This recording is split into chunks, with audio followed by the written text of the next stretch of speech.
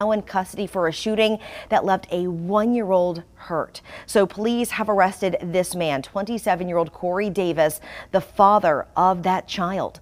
Police say he's now facing a number of charges, including first degree attempted murder and second degree cruelty to a juvenile. The shooting happened Saturday afternoon near Decatur and Spain streets. That baby was shot multiple times and rushed to the hospital. We are working to get more details about that baby's condition and how that baby is doing at this hour.